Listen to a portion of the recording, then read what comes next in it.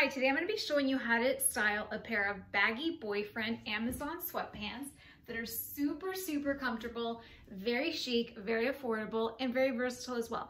If you love fashion videos and also videos on how to look your best and feel your best, make sure to hit subscribe. The first look that I'm going to show you how to style, you're going to wear some nice wedge booties. These are the Sorel um, weatherproof. They're very comfortable and they, if you live in up north, then these we're going to do great in the snow. Um, this will just give you a little bit of lift. Um, I'm also wearing just a nice neutral top with it, um, just to make it nice and easy, kind of like you can be working from home and then if you have to jet out and go somewhere, you're totally dressed, it looks great.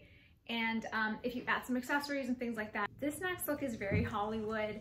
It's just got a nice structured blazer coat with the sweatpants, just a my wife beater underneath and some statement shoes, statement bag, and it looks very, very chic, and it looks like you're going maybe to like your next audition, not to a coffee run. The next look is just uber cozy. It's got Uggs with the sweatpants, so this is very much like college years, very, very easy to wear, um, and then just a little bit of a pop of color with a scarf, leopard print, um, but keeping everything very basic, but just still having kind of a piece that brings it all together and you can wear it with either a tank top if the weather is nicer or just a black turtleneck just keep it really basic and have um, the scarf leopard print be the statement piece and then the Uggs um, are always I feel like a statement. This blazer is one that you wouldn't expect to see with sweatpants, especially big boyfriend. Maybe some nice dainty joggers, but not huge sweatpants. Um, but I got the inspiration again from Hailey Bieber, um, who rocks LA with just wearing these huge things and then kind of tying it all together with a very cropped and silhouetted blazer. So um, this one is um, kind of like a wannabe Veronica Beard. Um, I think it's uh, choosy. not sure if they are still in stock, but I will certainly link it, it or similar ones down below. The next look that I'm styling them with is kind of an unexpected look. It is with some pumps and a nice creamy neutral sweater um, with some puff sleeves to make it really feminine. So it's just kind of an unexpected look and really, really fun, really comfortable, but it kind of just says to everyone, I have a look and I know what I'm doing. so the next piece that's really fun to wear is this faux fur, any faux fur kind of statement jacket. This one's cropped. Um, and it's just fun for date night or fun when you um, have anything going on at all that requires you to leave the house, but you still wanna look like you didn't try that hard.